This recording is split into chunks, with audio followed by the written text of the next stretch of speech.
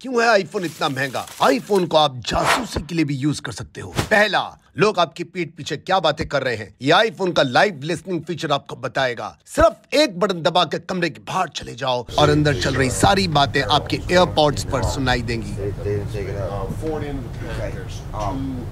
दूसरा तो बहुत खतरनाक है। आईफोन को कमरे में सेट कर दो और बाहर चले जाओ। अब दूर जाके आई वॉच से सीक्रेटली दो काम कर सकते हो। पहला, कमरे के अंदर की अनलिमिटेड फ़ोटोज़ खींच सकते हो।